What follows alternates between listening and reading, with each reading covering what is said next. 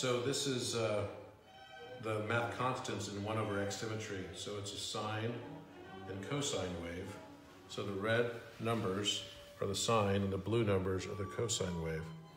And each of the integers is bounded here by frames that are on both sides of the integers that are vortices that create the big vortex in the middle for each integer that emerges out of it, and they're a boundary condition.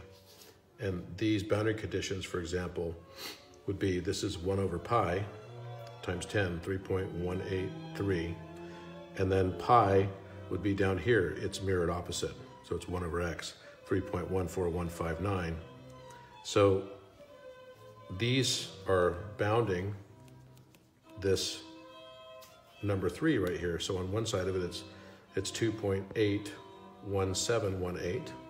And on the other side, it's um, three, it's 0.3549647. And each of the integers do this on the base 12 system. We have the same thing with gamma, which is the Euler-Mascheroni number here at 5.772.